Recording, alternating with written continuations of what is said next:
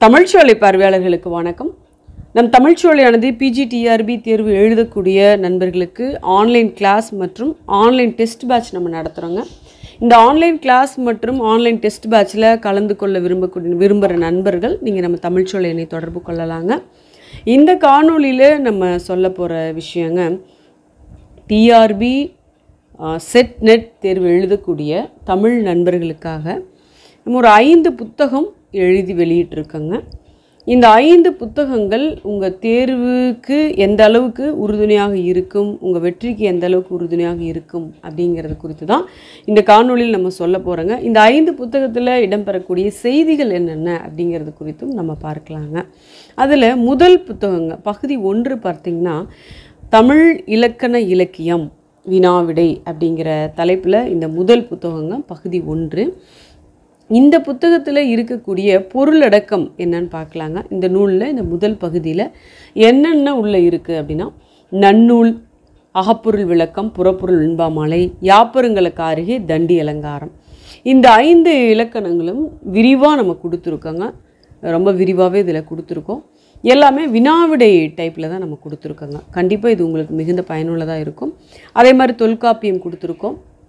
எட்டு தொகை பத்து பாட்டு நீதி இலக்கியம் பன்னிரு திருமுறைகள் ஆழ்வார்கள் ஐம்பெருங்காப்பியங்கள் கொடுத்துருக்கோம். ஐஞ்சிருங்காப்பியங்கள் இப்போ ராமாயண மகாபாரதம் சிற்றிலக்கியங்கள் உரையாசிரியர்கள் தனிப்பாடல் புலவர்கள் குறித்து இருக்கு கிறிஸ்துவ தமிழ் தொண்டு இஸ்லாமியர் தமிழ் தொண்டு புதினம் சிறுகதை நாடகம் கவிதை நாட்டுப்புறவியல் பற்றி கொடுத்துருக்கோங்க. அடுத்து தொகைச்சொற்கள் சூடாமணி நிகண்டில் இருக்கக்கூடிய நம்ம தொகைச்சொற்கள் ஏன்னா இது செட்னட் எழுதக்கூடிய நண்பர்களுக்கு பயனுள்ளதாக இருக்கும். நிரல்படுத்தகவும் அவங்களுக்கு பயனுள்ளதாக இருக்கக்கூடிய மாதிரி நம்ம தொல்காப்பியம் திருக்குறளில் இருந்து எடுத்து நிரல்படுத்துக கொடுத்துருக்கோங்க. பின்னணிப்பாக நம்ம அட்டவணை கொடுத்துருக்கோம்.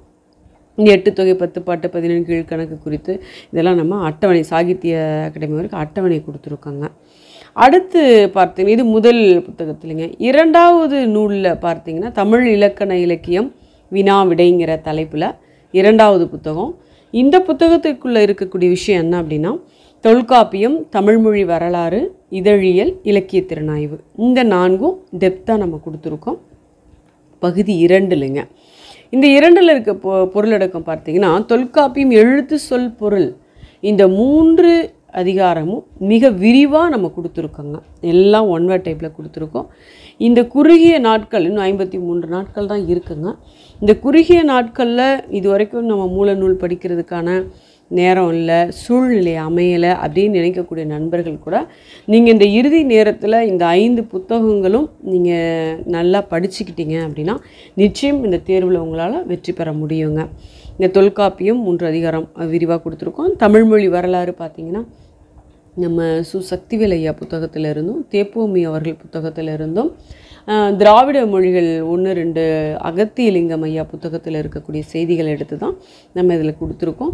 இலக்கிய திறனாய்வு அது கொடுத்துருக்கோம். நம்ம தாயை ஞானமூர்த்தி சார் புத்தகத்தில் இருக்கக்கூடிய செய்திகளும் ஒன் வேர்டில் கொடுத்துருக்கோம். இதழியல் கொடுத்துருக்கோம். அப்புறம் பார்த்திங்கன்னா பல சொற்கள் ஒரு பொருள் ஒரு சொல் பல பொருள் வலிமிகும் இடம் மிகா இடம் தமிழ் இலக்கிய பாடல்கள்னு சொல்லிட்டுங்க முக்கியமான கோட் மேற்கோள் எல்லாமே நம்ம வந்து இதில் கொடுத்துருக்கோங்க. பிறமொழிச்சொல் தமிழ்ச்சொல் இது இல்லாமல் பின்னிணைப்பு கொடுத்துருக்காங்க. இது இரண்டாவது நூலுங்க. இரண்டாவது நூலில் இருக்கக்கூடிய விஷயம். அடுத்து இந்த மூன்றாவது நூல் ரொம்ப முக்கியமான ஒரு நூலுங்க. தமிழ் இலக்கண இலக்கியம் சங்க இலக்கியம் அகம்புறம். அகநானூறும் புறநானூறும் டெப்த்தாக எப்படிலாம் கேட்க முடியுமோ அந்த அளவுக்கு டெப்த்தாக மிக விரிவாக நம்ம கொடுத்துருக்கோங்க. இது ஆய்வு செய்யக்கூடிய மாணவர்களுக்கு இந்த நூல் மிகுந்த பயனுள்ளதாக இருக்குங்க. அது அட்டவணையும் நம்ம கொடுத்துருக்கோம். போர்கள் பற்றி அரசர்கள் பற்றி. தனியாக அட்டவணை இல்லாமல் ஒன்வேடும் நிறைய கொடுத்துருக்கோம். இதை படித்தோம்னா நம்ம ஒரு அகநானூறு புறநானூறு எடுத்து நீங்கள் அந்த மூல நூல்களில் படித்து தெரிந்து கொள்ள வேண்டிய அத்தனை விஷயங்களும் நம்ம இதில் கொடுத்துருக்கோம். ஸோ இது சங்க இலக்கியம்.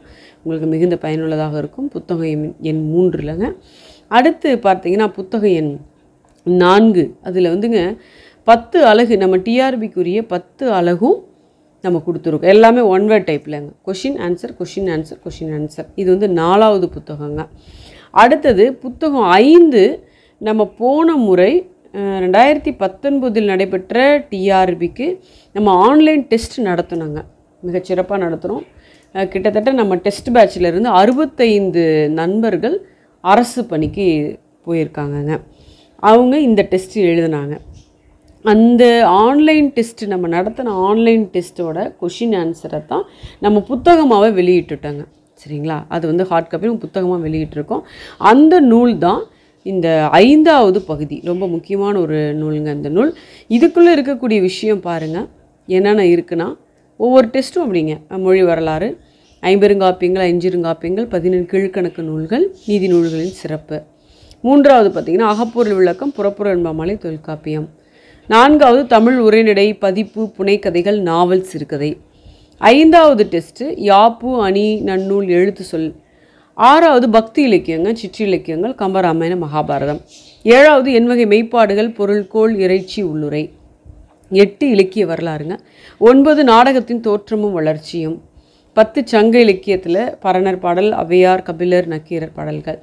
அடுத்து பதினொன்று சொற்றொடர் அமைப்பு சொற்பொருள் மாற்றம் கலைச்சொல்லாக்கம் பனிரெண்டு நன்னூல் புறப்பொருள் என்பாமலை நம்பியக பொருள் இலக்கிய வரலாறு. பதிமூன்று மீண்டும் வியாபாரங்களுக்கு காரிகை தண்டி அலங்காரம் இலக்கிய திறனாய்வு இலக்கிய வரலாறு. பதினான்கு பதினெண் கீழ்கணக்கு ராமாயண மகாபாரதம் இலக்கிய வரலாறு. பதினைந்து சிற்றிலக்கியங்கள் சமயங்கள் வளர்த்த தமிழ் அதில் வந்து பார்த்திங்கன்னா கிறிஸ்துவம் இஸ்லாம் இதெல்லாம் வந்துடுது இலக்கிய வரலாறும். ஐம்பெருங்காப்பியங்கள் ஐஞ்சிருங்காப்பியங்கள் இலக்கிய வரலாறு. ஏன்னா இலக்கிய வரலாறும் ரொம்ப முக்கியங்க. தொல்காப்பியம் முழுமையும். அடுத்தது பக்தி இலக்கியத்தில் சைவம் வைணவம் திருப்புகழ் பட்டினத்தார் தாய்மானவர் அருணகிரிநாதர். பத்தொன்பது மீண்டும் மொழி வரலாறு டெஸ்ட்டு இருபது நாவல் சிறுகதை உரைநடை நாடகம். இருபத்தி ஒன்று சங்க இலக்கியம்ங்க. இது ஐந்தாவது புத்தகத்தில் இருக்கக்கூடிய கண்டென்ட் இப்போ நம்ம அந்த ஐந்து புத்தகங்கள் பற்றியும் சொல்லியிருக்கோம். இந்த கடைசி நேரத்தில் நம்ம இந்த ஐந்து புத்தகங்களும் நல்லா தரவாக நீங்கள் படிச்சுக்கிட்டிங்கனாலே கண்டிப்பாக வெற்றி வாய்ப்பு அதிகம். அதோடு சேர்த்து நம்மளுடைய டெஸ்ட் பேட்சில் இணைந்து படித்தீங்கன்னா இன்னமும் உங்களுக்கு அடுத்து ஒரு தேர்வு எழுதுறதுக்கு ஒரு முன்னோட்டமாக உங்களுக்கு ஒரு நல்ல வழிகாட்டியாக இருக்கும் நான் சொல்லிக்கிறேங்க. தொடர்ந்து நீங்கள் நம்ம தமிழ்ச்சோலை பார்த்துட்டு வாங்க. நம்ம தமிழ்ச்சோலையில் ஆன்லைன் வகுப்புன்னு பார்த்தீங்கன்னா தமிழ் கணிதம் வணிகவியல் இந்த மூன்று பாடத்திற்கும் ஆன்லைன் வகுப்பு நடத்திட்டுருக்கேங்க ஆன்லைன் டெஸ்ட் பேட்ச் அப்படிங்கும் பொழுது தமிழ் பாடத்திற்கும் ஆங்கில பாடத்திற்கும் இப்போதைக்கு நடத்திட்டுருக்கோம் இன்னும் ஒரு ஒரு வாரத்தில் நம்ம வணிகவியல் பாடத்திற்கும் கணித பாடத்திற்கும் நடத்தலாம்னு இருக்குங்க. தொடர்ந்து நீங்கள் நம்ம தமிழ் சோலை பார்த்துட்டு வரீங்க. தொடர்ந்து நம்ம தமிழ் சோலைக்கு பேர் ஆதரவு கொடுத்து கொண்டு வரக்கூடிய நண்பர்கள் அனைவருக்கும் மனமார்ந்த நன்றி. வணக்கம்.